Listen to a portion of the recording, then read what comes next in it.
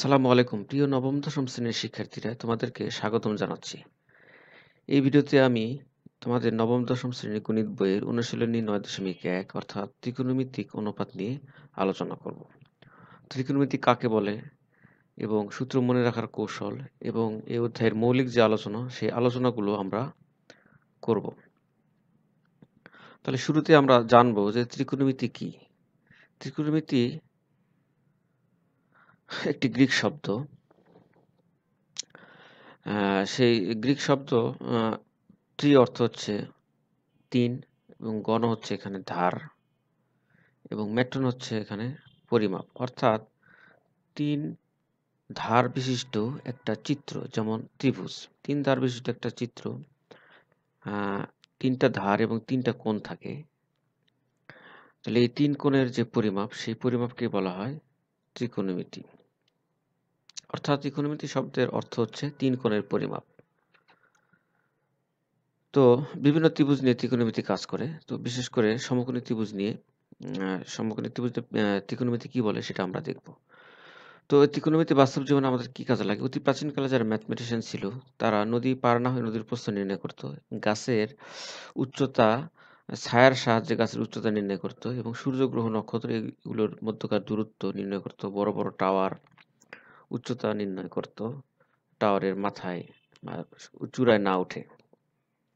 তো ত্রিকোণমিতি আমাদের খুবই তোমাদের খুব গুরুত্বপূর্ণ একটি অধ্যায়। এই অধ্যায় থেকে তোমাদের এসেছি এবং স্কুলের যে পরীক্ষাগুলো হয়, সেই পরীক্ষাগুলোতে প্রশ্ন আসে।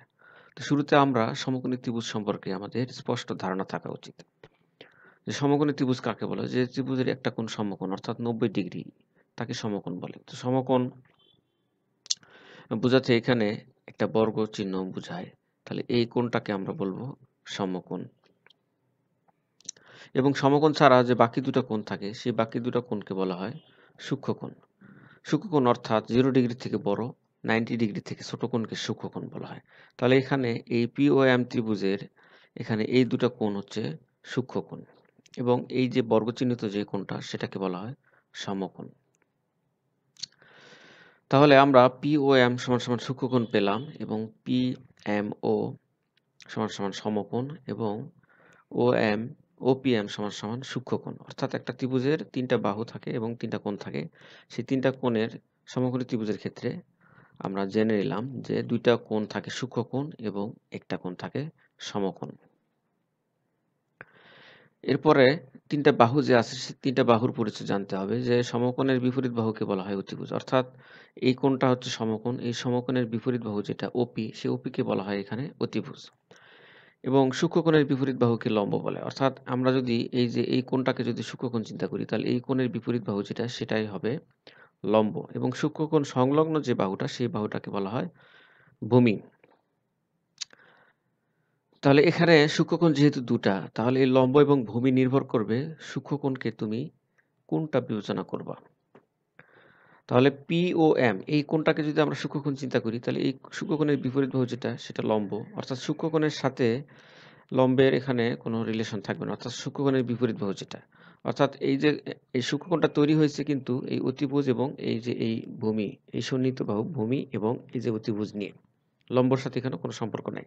অনুরূপভাবে আমরা যদি ওপিএম এই কোণটাকে যদি সূক্ষ্মকোণ চিন্তা করি, তাহলে সূক্ষ্মকোণের বিপরীত বাহু তখন হবে কিন্তু ও এম তাহলে আমরা নেক্সটে আমরা দেখব যে, এখানে দেখো, লম্ব এবং ভূমি কিন্তু চেঞ্জ হয়ে গেছে। এর আগেরটাতে আমরা দেখলাম ও এম হচ্ছে ভূমি। কারণ আমরা এই পি ও এমকে সূক্ষ্মকোণ চিন্তা করেছি, তাহলে সূক্ষ্মকোণের বিপরীত বাহু এখানে লম্ব। কিন্তু আমরা যদি এই কোণটাকে যদি সূক্ষ্মকোণ চিন্তা করি, তাহলে এই কোণের বিপরীত বাহু যেটা, সেটা হবে লম্ব। এবং এই কোণের সাথে যে বাহুটা থাকবে, সেই বাহুটা হলো ভূমি। এটা তোমাদের স্পষ্ট ধারণা থাকা উচিত। অনেকে ভুল করে যে এই যে ভূমি লম্ব মানে কিন্তু সবসময় এই বাহুটাকে চিন্তা করে। কিন্তু আসলে এটা নির্ভর করে কোন কোনটাকে তুমি সূক্ষ্ম কোণ বিবেচনা করবা, সেই হিসাবে লম্বটা চিহ্নিত হবে।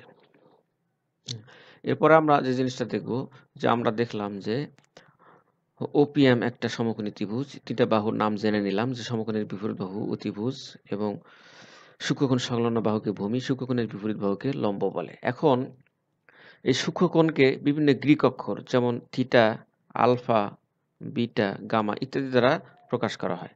এখন এই কোণগুলোকে আমরা আলফা, বিটা, থিটা ইত্যাদি দ্বারা প্রকাশ করব। এখন এই সমকোণী ত্রিভুজের ক্ষেত্রে আমরা একটা উপপাদ্য শিখব। সেই উপপাদ্যটা হচ্ছে পিথাগোরাসের উপপাদ্য। এই ব্যক্তিটি হচ্ছে পিথাগোরাস। ইনি প্রায় আড়াই হাজার বছর আগে এই সমকোণী ত্রিভুজের ক্ষেত্রে একটা বিখ্যাত উপপাদ্য বলেছিলেন। উপপাদ্যটা হচ্ছে অতিভুজের স্কোয়ার সমান সমান লম্বর স্কোয়ার প্লাস ভূমির স্কোয়ার। তাহলে ত্রিভুজের তিনটা বাহু যেমন এখানে যদি লম্ব থাকে, লম্ব যদি থ্রি থাকে এবং ভূমির মান যদি ফোর থাকে, তাহলে আমরা অতিভুজের মান কিন্তু খুব সহজেই বের করতে পারব। কেন লম্ব এখানে, লম্বর মান যদি থ্রি স্কোয়ার হয় এবং ভূমির মান যদি ফোর স্কোয়ার হয়, তাহলে আমরা এখানে পাই nine plus sixteen equal to twenty five তাহলে আমরা কিন্তু অতিভুজের মান এখানে পাবো। তাহলে অতিভুজ সমান সমান উভয় বর্গমূল করে দিলে এখানে আমরা পাবো এটার মান হচ্ছে পাঁচ। তাহলে অতিভুজের মান আমরা পেলাম এখানে ফাইভ এইভাবে এই পিথাগোরাসের উপপাদ্যের সাহায্যে সমকোণী ত্রিভুজের যে কোনো দুইটা বাহু থাকলে অপর বাহুটি দৈর্ঘ্য নির্ণয় করা যায়। অনুরূপভাবে যদি আমরা অতিভুজের মান দেওয়া আছে আমরা লম্বর মান যদি বের করতে চাই সাপোজ অতিভুজের মান এখানে পাঁচ এবং ভূমির মান এখানে চার, তাহলে লম্বর মান কত? এটা বের করতে হবে। তাহলে আমাদের এখানে জাস্ট এটা যদি সাইড চেঞ্জ করে দিই তাহলে ভূমি অতিভুজের সাথে এখানে মাইনাস হয়ে যাবে, অর্থাৎ অতিভুজ স্কোয়ার মাইনাস ভূমির স্কোয়ার তাহলে অতিভুজের স্কোয়ার এখানে পাঁচ, পাঁচের স্কোয়ার ভূমি এখানে ফোর ফোরের স্কোয়ার তাহলে এখানে ক্যালকুলেশন করলে হবে পঁচিশ থেকে ষোলো গেলে এখানে নয়। অর্থাৎ এখানে লম্বর মান হবে উপপক্ষে যদি বর্গ বর্গমূল নেই, তাহলে লম্বের মান এখানে, লম্বর মান আমরা পাবো থ্রি তাহলে এইভাবে সমকোণী ত্রিভুজের ক্ষেত্রে পিথাগোরাসের উপপাদ্য প্রয়োগ করে আমরা যে কোনো দুইটা বাহুর দৈর্ঘ্য দেওয়া থাকলে অপর বাহুর দৈর্ঘ্য আমরা নির্ণয় করতে পারি।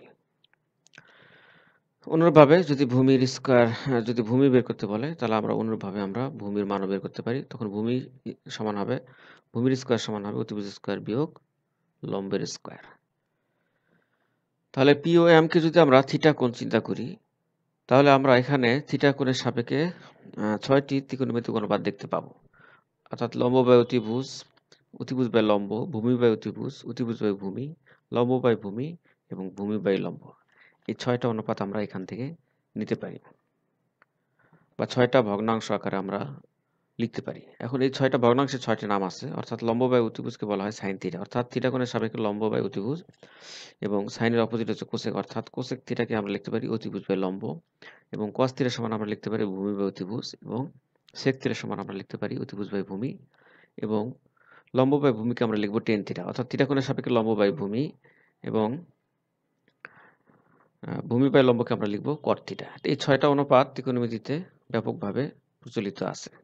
এই ছয়টা অনুপাত মধ্যে এই তিনটাকে আমরা ভিত্তি ধরে নিই। অর্থাৎ এই তিনটাকে যদি বেসিক ধরে নিই, তাহলে আমরা দেখতে পাই এই সাইন হচ্ছে কোসেকের অপোজিট অর্থাৎ এখানে লম্ব বাই অতিভুজ, কিন্তু এখানে আছে অতিভুজ বাই লম্ব।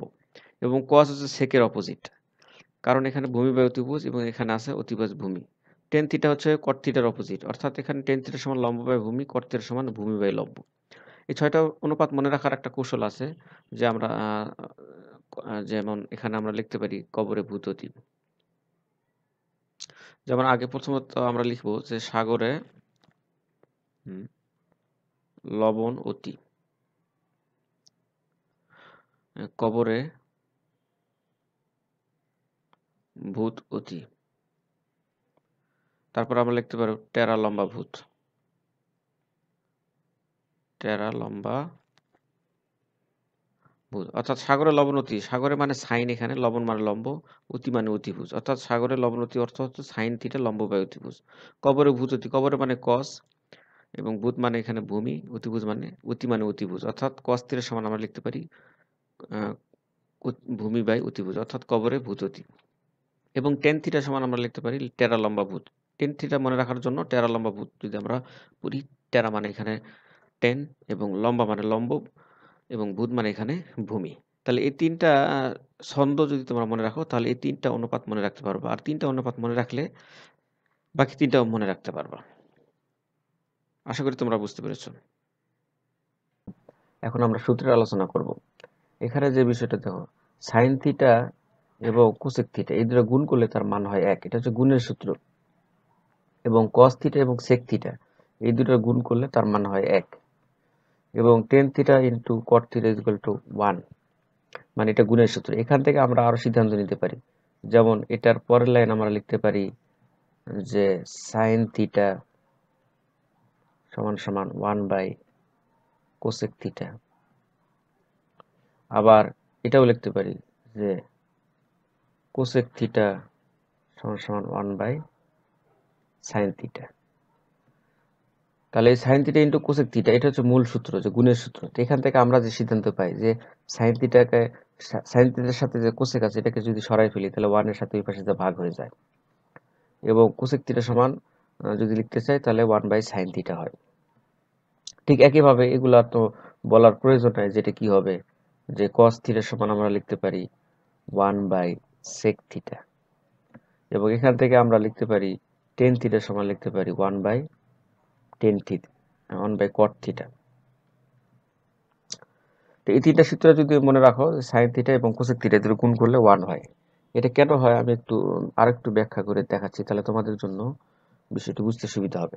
তাহলে এটা যদি, এটা প্রমাণ করতে পারি আমরা, তাহলে সাইন থিটা এটা যদি লেফট হ্যান্ড সাইড ধরি আমরা sine theta into cosec theta তাহলে সাইন থিটার অনুপাত আমরা একটু আগে দেখলাম, যে লম্ব বাই অতিভুজ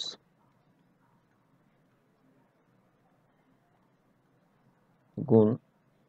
কোসেক থিটা সূত্র হচ্ছে অতিভুজ বাই লম্ব। তাহলে আমরা কি লিখতে পারি? লম্ব লম্ব কাটা অতিভুজ অতিভুজ কাটা, তার মানে ওয়ান থাকে। তাহলে অনুরূপভাবে কোস থিটা এবং সেক থিটার ক্ষেত্রেও এটা করা যায়। তাহলে এটা করলাম না, তোমরা অলরেডি নিশ্চয়ই তোমরা বুঝে গেছো। এরপর আমরা আরও তিনটা সূত্র শিখব, যে সাইন এবং কস এই দুইটা স্কোয়ার করে যোগ করে দিলে তার মান হয় এক। এবং cosec square theta minus cot square theta অর্থাৎ কোসেক এবং কট এই দুটার বর্গ নিলে তাদের বিয়োগফল হবে এক। এবং সেক এবং টেন এই দুটার বর্গ নিলে, বর্গ নিয়ে তাদের বিয়োগ করলে তার মান হয় এক। এখানে এই যে থিটাটা সবসময় সূক্ষ্মকোণ হবে। তো এখান থেকেও আমরা অনেক কিছু সিদ্ধান্ত নিতে পারি। যেমন এটার পরের লাইন আমরা লিখতে পারি যদি আমরা সাইনটা বাম পাশে রাখি, তাহলে সাইন স্কোয়ার থিটা সমান সমান লিখতে পারি one minus cos square theta, অর্থাৎ কসকে আমরা ডানে সরিয়ে ফেললাম। ঠিক একইভাবে এটা সমান আমরা লিখতে পারি cos square theta is equal to one plus cot square theta, পক্ষান্তর করে। ঠিক তারপর এটার থেকে আমরা লিখতে পারি sec square theta is equal to one plus tan square theta. তো এখান থেকে আরও অনেকগুলো সূত্র বানানো যায়। আবার এখান থেকে আমরা যদি কসটাকে এই পাশে রাখি, তাহলে কি পাই? কস স্কোয়ার থিটা সমান সমান one minus sine square theta ঠিক একইভাবে এখান থেকে যদি আমরা কট বের করতে চাই, তাহলে কট স্কোয়ার থিটা হবে cos square theta minus one এইভাবে পক্ষান্তর করা যায়। আবার এখান থেকে রুট নিলেও করা যায়। যেমন আমরা যদি শুধু কস থিটা নিতে চাই, তাহলে কস থিটা সমান কি হবে? Root over one minus sine square theta যদি এখান থেকে আমরা শুধু সাইন নিতে চাই, তাহলে সাইন থিটা সমান কি হবে? Root over one minus cos square theta তাহলে মূল সূত্র হলে এখানে এই তিনটাই সূত্র। এখান থেকে আমরা পক্ষান্তর করে বিভিন্ন সিদ্ধান্ত নিতে পারি। এবং আরও দুইটা সূত্র মনে রাখতে হবে যে টেন থিটা সমান sine theta by cos theta তাহলে কট থিটা সমান কি হবে? Cos theta by sine theta যেহেতু টেন কটের উল্টাটা, এটার অপোজিট হচ্ছে কট তাহলে যেহেতু tan theta sine theta by cos theta তাহলে কট থিটা হবে cos theta by sine theta এটা আমরা প্রমাণও করতে পারি কীভাবে যে এখানে যে ব্যাপারটা আছে যে আমরা জানি, একটু আগে পড়ে আসলাম যে টেন থিটা সমান আমরা লিখতে পারি লম্ব বাই ভূমি।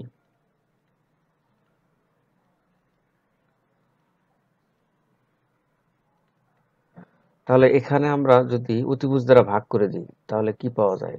লম্ব বাই অতিভুজ।